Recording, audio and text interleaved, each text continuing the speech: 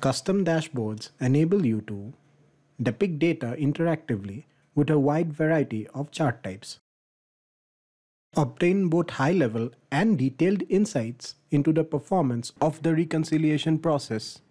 Add filters at the dashboard level and at the individual view level in order to view only the required data. Dashboards can have three views. This includes list view, pivot view, and chart view. Let's start by opening a dashboard. From the home screen, click the Dashboards cluster and select Custom. I have already created a few dashboards. Click the name to open a dashboard. Let's create a custom dashboard. The new dashboard opens in a tab on the Custom Dashboards page.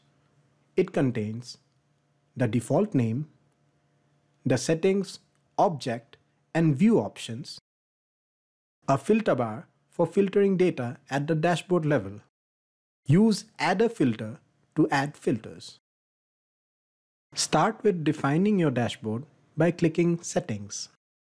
On the Properties tab, enter a name. Using the Layout section, you can split the dashboard into segments. I will select Grid as the required layout. On the Access tab, you can set up user access for the dashboard. For this example, Service Administrator is selected by default. You can add users and groups to give them access to the dashboard. Click OK to proceed. With a grid layout selected, this dashboard is divided into four segments. You can use each segment to show different set of data using list view, pivot view, or chart view. Chart view is selected by default for all four segments. Let's define charts for each segment. On the top left segment, click Settings. On the Properties tab, enter a chart title and then select a chart type. I will select Column. On the Layout tab, select Attribute as Type. And from the Attribute 1 drop-down, select Preparer. Under the Legend Series section, select a value for the y-axis and a corresponding category for the value. You can filter the values using the Filter column. Click OK. The first segment now shows a chart which depicts all reconciliations that are currently open with preparers. I'll add a second chart to show open reconciliations by account type with balances. I'll select the chart type as combination and select the missing value as 0 and dual y-axis checkboxes. On the Layout tab, I'll select attribute for the axis type and account type for attribute 1. Then, in the Legend Series section, I'll click the Add icon to create two rows.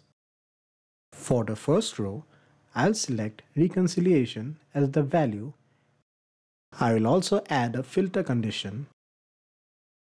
For the second row, I'll select source system balance functional absolute as the value and sum as aggregation. I'll add status detailed with preparer as a filter. On the legend section, I'll change the count type to bar and provide the required label names. I will also check the dual y-axis checkbox. Click the OK button to create the chart. Now, let's create a pie chart to compare on-time and late reconciliations. Select the 3D chart checkbox to render a 3D model of the chart. On the Layout tab, notice that the axis section doesn't apply to a pie chart. On the Legend Series section, I'll select reconciliation for the value and on time for the category. You can click on each of the numbers on the chart to drill through to the underlying reconciliations. In this example, the drill through page shows the list of overdue reconciliations. Click on a reconciliation to see its details. Finally, let's create a line chart to analyze reconciliation performance, including end date, actual end date, and ending balance. For charts that include multiple data types or scales, select dual y-axis. I'll select date for the type. Under the Legend Series section, I'll select reconciliations for the first value and group them by end date. For the second value, I'll select reconciliations again but group them by end date actual.